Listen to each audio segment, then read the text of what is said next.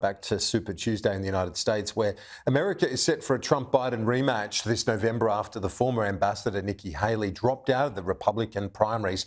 For more on what this means for the US, Professor of Political Science at the University of California, Louis DeSipio joins me. Professor, thanks for your time. What's your read on this? It didn't really surprise anyone, I think, that that Biden is now unopposed. Haley stayed as long as she could, but really Super Tuesday put an end to all of that. I think it will help the American people and the candidates focus on the general election.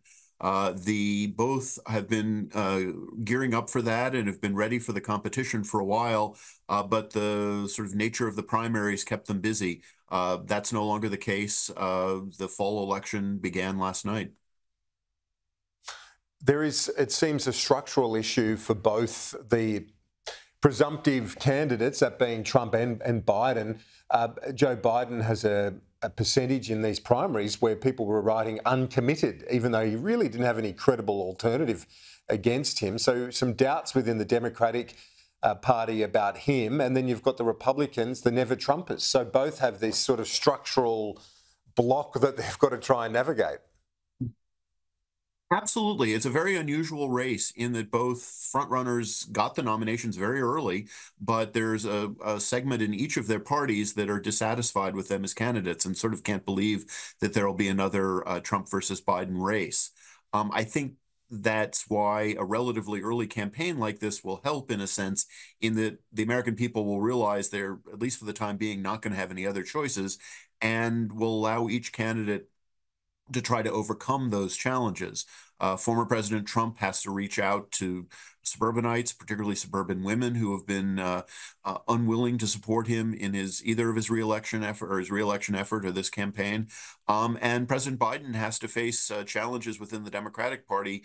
Uh, some who feel he's too old and, and not capable of governing for another four years, and others who are dissatisfied with his uh, policies in, in Gaza. Uh, so each faces a challenge, and there will be several months where they can sort that out. So Trump locked in, it seems, barring any catastrophic uh, legal outcome or whatever else. Who knows what happens with Donald Trump? But with the Democratic Party, the convention come July, is there any talk of a hail mary to a younger, more vibrant and vital candidate?